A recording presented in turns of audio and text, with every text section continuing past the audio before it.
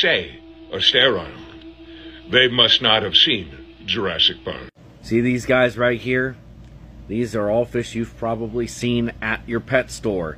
These are tetras and other species of fish that have jellyfish DNA introduced into them to give them bioluminescence, but they can't sting you. Pretty much every salmon you buy from the store is a genetically modified organism. Ocean pout is introduced into the Pacific Chinook salmon to basically boost its growth rate. These fish are both the same age, just one is GMO, the other one isn't the little bit of DNA that is put into these catfish are being used to basically give them a boost to their immune system so they can fight off infections. It won't change the way they look at all. Crocodilians in general have an incredible healing factor. They can lose limbs and just, you know, it's nothing to them. Besides, gator nuggets are fantastic.